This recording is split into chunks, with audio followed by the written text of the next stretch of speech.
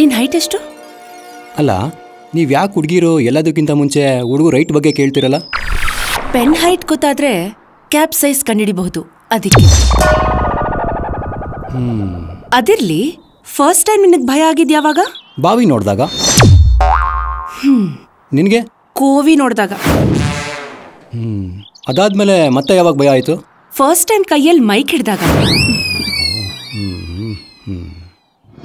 ಸೂರ್ಯ Sandalwood ಅಲ್ಲಿ at present music department ಬಗ್ಗೆ ನಿಮ್ಗೆ ಏನ್ ಅನ್ಸುತ್ತೆ? ಕೃಷ್ಣನ್ ಕೈಯಲ್ಲಿ ಪಾಂಚಜನ್ಯ ಊದಿಸಿದ್ರೆ ಮಾತ್ರ ಈ ಇಂಡಸ್ಟ್ರಿನಲ್ಲಿ ಮ್ಯೂಸಿಕ್ಗೆ ಬೆಲೆ. ಸೊ ಬಾಂಬೆನಲ್ಲಿರೋ ಇವರು ನಿಗಮ ಬಳಸ್ಕೊಂಡ್ರೆ ಇನ್ನೂ ಬೆಲೆ. ಇನ್ನೊಂದು ಕ್ವೆಶನ್ ಈಗ ಆಲ್ರೆಡಿ ಇಂಡಸ್ಟ್ರಿಯಲ್ಲಿ ಇರೋರು ನಿಮ್ಮ ಜಾಗ ಬಿಡ್ತಾರಾ? ಜಾಗ ಬಿಡದಿರೋರಿಗೆ ಜಾಗ ಬಿಡ್ಸಕ್ಕೆ ಜಾಗ್ವರ್ನಲ್ಲಿ ಹೋಗ್ತೀವಿ. ಅದ್ ಹೆಂಗ್ ಜಾಗ ಬಿಡಲ್ಲ ಅಂತ ನಾವು ನೋಡ್ತೀವಿ. ನಿಮ್ಗೆ ಯಾರೇ ಜಾಗ ಕೊಡ್ತಾರೆ? ಎಲ್ರೂ ಅವ್ರವ್ರ ಸಿನಿಮಾ ಅವರೇ ಮಾಡ್ಕೋತಿದಾರಲ್ಲ? ಮಾಡ್ಕೊಳ್ಳಿ ಬಿಡಿ. ಆದ್ರೆ ಒಂದು ಬೇಜಾರು ಏನಪ್ಪಾ ಅಂದ್ರೆ ಹೋಮ್ ಬ್ಯಾನರ್ ಸಿನಿಮಾಗಳು ರಿಲೀಸ್ ಟೈಮಲ್ಲಿ ಚಾನಲ್ ರೂಮ್ ರೂಮಲ್ಲಿ ಕಾಣಿಸೋ ಹೀರೋಗಳು ಬೇರೆ ಪ್ರೊಡ್ಯೂಸರ್ಗಳು ಬನ್ನಿ ಅಂದ್ರೆ ಚಾನಲ್ ಅಡ್ರೆಸ್ ಗೊತ್ತಿಲ್ಲ ಅಂತಾರೆ. ಸೋ ಸ್ಯಾಡ್ ಪೇಚರ್ ಮಾಡ್ಕೋಬೇಡಿ. ತಗೊಳ್ಳಿ. ದೂತ್ ಪೇಡ ತಿನ್ನಿ. ಅಡುಗೆ ಭಟ್ರು ದೂದ್ ಪೇಡ ಕೊಟ್ರೆ ಸಿಹಿಯಾಗಿರುತ್ತೆ. ಅದೇ ಬೇರೆಯವ್ರು ಕೊಟ್ರೆ ಕಹಿಯಾಗಿರುತ್ತೆ. ಅದಕ್ಕೆ ಹೇಳೋದು ಸ್ವೀಟ್ಗೆ ಕಲರ್ ಮಾತ್ರ ಇಂಪಾರ್ಟೆಂಟ್ ಅಲ್ಲ ಅದನ್ನ ಕೊಡೋರು ಇಂಪಾರ್ಟೆಂಟು ಅಂತ.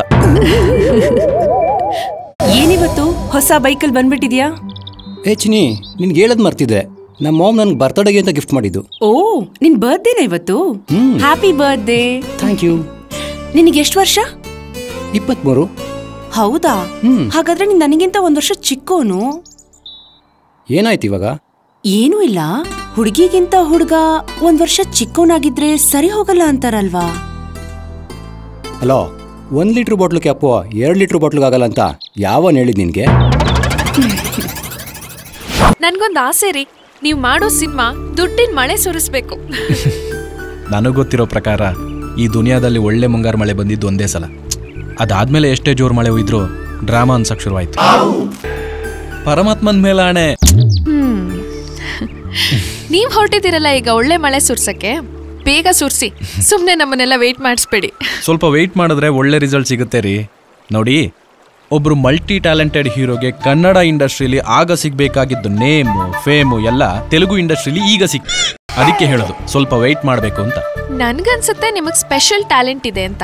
ವೆಯ್ಟ್ ಮಾಡೋ ಅವಶ್ಯಕತೆನೇ ಇಲ್ಲ. ಏನು ಅಟ್ಟಕ್ಕೇರಿಸ್ತಿದ್ದೀರಾ ಮನುಷ್ಯ ಎಷ್ಟೇ ಹೆಸರು ಬಂದರೂ ಸಿಂಪಲ್ ಆಗಿರಬೇಕು. ತಮಗ್ ತಾಕತ್ತಿದ್ರು ಬಹುಪರ ಕೇಳೋರ್ ಕೈಲಿ ಡೈಲಾಗ್ ಬರ್ಸಿ ಯಾಮಾರಬಾರ್ದು ವಾಸ್ತು ಪ್ರಕಾರ ಸಿನಿಮಾ ಮಾಡಿದ್ರೆ ಯಾಮಾರೋ ಪ್ರಶ್ನೆನೇ ಇರಲ್ಲ. ಪ್ರತಿ ವರ್ಷ ರಿಲೀಸ್ ಆಗೋ ನೂರೈವತ್ತು ಸಿನಿಮಾಗಳನ್ನು ವಾಸ್ತು ಪ್ರಕಾರನೇ ಮಾಡಿರ್ತಾರೆ. ಹಾಗನ್ ಮಾತ್ರಕ್ಕೆ ಎಲ್ಲ ಸಿನಿಮಾನು ಹಿಟ್ ಆಗ್ಬೇಕಂತೇನಿಲ್ವಲ್ಲ ಬನ್ನಿ ಈಗ ಮನೆಗೆ ಹೋಗೋಣ. ರೀ ಇವತ್ತು ಉಪ್ಪಿಟ್ಟು ಮಾಡಿದೆ ತಿಂಡಿಗೆ. ಬೇಗ ಬಂದಿದ್ರೆ ನಿಮಗೂ ಸಿಕ್ತಿತ್ತಾ ಹಸ್ತಾಗ ಬಿರಿಯಾನಿ ಕೊಟ್ಟು ಕೊಟ್ಟು ಅಭ್ಯಾಸ ಮಾಡಿಸಿ ಸಡನ್ ಆಗಿ ಮಧ್ಯದಲ್ಲಿ ಉಪ್ಪಿಟ್ಟು ಕೊಟ್ಬಿಟ್ರೆ ಟೇಸ್ಟೇ ಸಿಗಲ್ಲ. ನೀವೇನಂತೀರಾ? ಅನ್ನೋನ್ಗಳು ಹೇಳೋದನ್ನೆಲ್ಲ ನಾವು ನಂಬಲ್ಲ.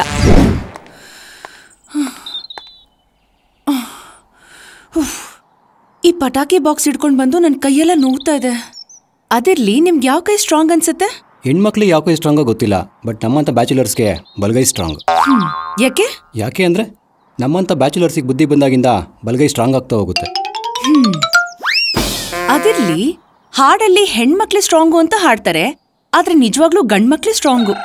ನನ್ ಪ್ರಕಾರ ಈ ಪ್ರಪಂಚನ ನಡಗ್ಸೋರೆ ಅವರು. ಎಲ್ಲ ಗಂಡ್ಮಕ್ಳು ಪ್ರಪಂಚನ ನಡಗ್ಸೋದಿಲ್ಲ. ಮತ್ತೆ?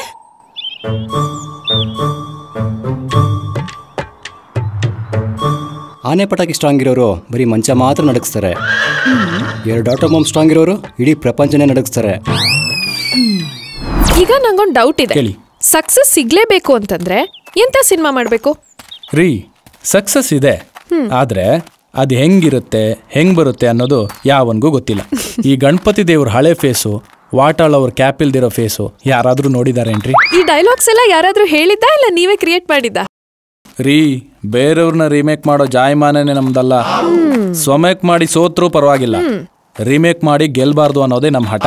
ಸ್ವಮೇಕ್ ಮಾಡೋರ್ಗೆ ಈಗೋ ಜಾಸ್ತಿ ಅಂತ ಎಲ್ಲ ಓದಿದ್ ನೆನ್ಪು. ಅದಕ್ಕೊಂದು ಉದಾಹರಣೆ ಹೇಳ್ತೀನಿ ಕೇಳಿ. ಮಲಗಿರೋ ಮಂಜುನಾಥನ್ನ ಎಪ್ಸಿ ಮಂಜುನಾಥನ್ನೇ ಮರ್ತವ್ರೊಬ್ರು ಅಲಗಾಡ್ದಂಗೆ ಇನ್ನೂ ಟಿವಿನಲ್ಲೇ ಕೂತಿದ್ದಾರೆ. ಇನ್ನೊಬ್ರು ನೀರು ದೋಸೆಗೆ ಆರ್ಡರ್ ಮಾಡ್ಕೊಂಡು ಕಾಯ್ತಿದ್ದಾರೆ. ಅದಕ್ಕೆ ಹೇಳೋದು, ಈಗೋ ಬಿಟ್ರೆ ಅದ್ರಲ್ಲಿ ಸಿಗೋ ಖುಷಿನೇ ಬೇರೆ ಅಂತ. ಆದ್ರ ಜನಕ್ಕೆ ಇದು ಯಾವುದು ಲೆಕ್ಕಕ್ಕೆ ಬರಲ್ಲ. ನೋಡಿ, ಮೊನ್ನೆ ಈಗೋ ಇರೋರು ದುಡ್ಡು ಬಾಹು ಇಟ್ಕೊಂಡು ಹೊಸಬರು ಮಾಡಿರೋ ಕನ್ನಡ ಸಿನಿಮಾನ ಬಲಿ ಹಾಕೋಕೆ ಅಂತ ಹೋದ್ರು. ಆದ್ರೂ ಸಿನಿಮಾ ರಂಗರಂಗೇರ್ತಾನೆ ಹೋಯ್ತು. ಅದಕ್ಕೆ ಹೇಳೋದು, ಸಿನಿಮಾದಲ್ಲಿ ದಮ್ ಇರಬೇಕು, ಜೊತೆಗೆ ಜಯ ನೀಡೋ ಅಣ್ಣ ಇರಬೇಕು ಅಂತ. ಚೆನ್ನಾಗಿರೋ ಹುಡುಗಿರು ಯಾರು ನೋಡಿದ್ರು ಬೇಗ ಮದುವೆ ಆಗಿರ್ತಾರೆ ಅಲ್ವಾ? ಅವ್ರು ಮದುವೆ ಆಗಿದ್ರು ನಮಗೆ ಗೊತ್ತಾಗಬಾರ್ದಿತ್ತು. ಒಳ್ಳೆ ಮಜಾ ಇರೋದು. ಏನು ಮಾಡೋದು?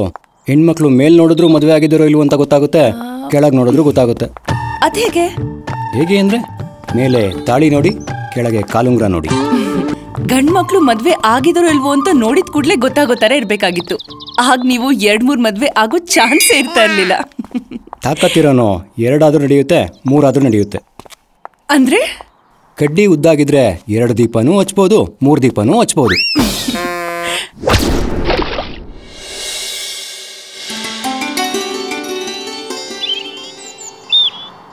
Chocolate?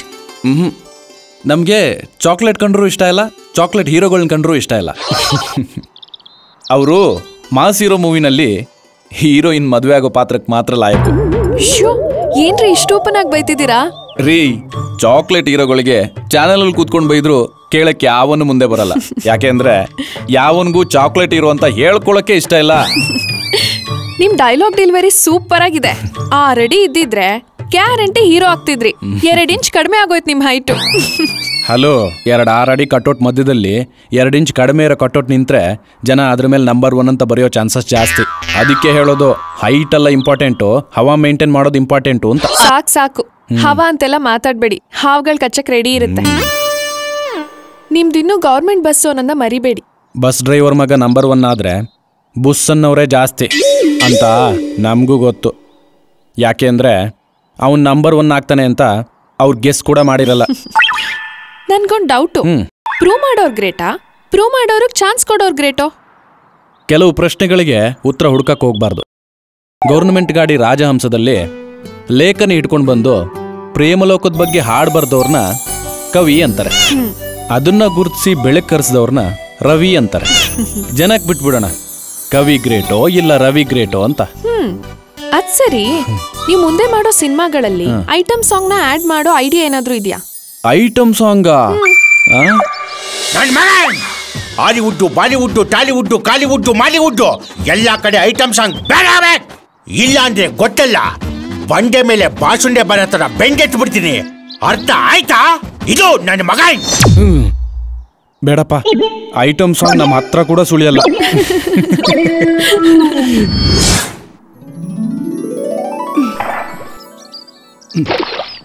You know what what ನನಗ್ ನಮ್ಮಪ್ಪ ಯಾರು ಅಂತ ಗೊತ್ತೇ ಇಲ್ಲ. ನಿಮ್ಮ ಅಮ್ಮನ್ ಕೇಳ್ಬೇಕಿತ್ತು. ನಮ್ಮಮ್ಮಂಗ್ ಇಷ್ಟವಾದ ದೇವ್ರು ಯಾರು ಅಂದ್ರೂ ಕನ್ಫ್ಯೂಸ್ ಆಗ್ತಾರೆ. ನಿಜವಾದ ಕಂಡ ಯಾರು ಅಂದ್ರೂ ಕನ್ಫ್ಯೂಸ್ ಆಗ್ತಾರೆ. ಅಂದ್ರೆ? ನಮ್ಮಮ್ಮನ್ ಲೈಫ್ ಅನ್ನೋ ಟೆಕ್ಸ್ಟ್ ಬುಕ್ ಅಲ್ಲಿ ಫಸ್ಟ್ ಪೇಜ್ ಬರ್ದವ್ರು ಯಾರು ಅಂತಾನೂ ಗೊತ್ತಿಲ್ಲ. ಲಾಸ್ಟ್ ಪೇಜ್ ಬರ್ದವ್ರು ಯಾರು ಅಂತಾನೂ ನೆನಪಿಲ್ಲ. ಬರ್ದಿರೋದ್ ನೆನಪಿದೆಯಲ್ಲ ಅಷ್ಟು ಸಾಕು ಬಿಡು. ಆದರೂ ನೀವು ಈ ಥರ ಬಟ್ಟೆ ಹಾಕಿದ್ರೆ ನಮಗೆ ಕಷ್ಟ ಆಗುತ್ತಪ್ಪ. ಯಾಕೆ? ಯಾಕೆ ಅಂದರೆ ನೀವು ಬಟ್ಟೆ ಚಿಕ್ಕದು ಹಾಕಿದ್ರೆ ನೈಟ್ ನಮ್ಮ ರಟ್ಟೆ ಕೆಲಸ ಜಾಸ್ತಿ ಆಗುತ್ತೆ. ಅದಕ್ಕೆ.